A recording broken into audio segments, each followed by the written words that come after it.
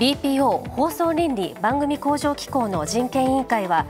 テレビ埼玉が放送したニュース番組に対し放送倫理上の問題は認められないなどとする見解を示しました。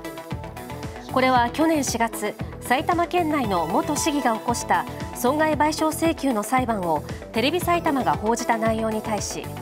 自分の起こした裁判なのにあたかもセクハラで訴えられたような報道をされたなどとして元市議が BPO に申し立てをしていました。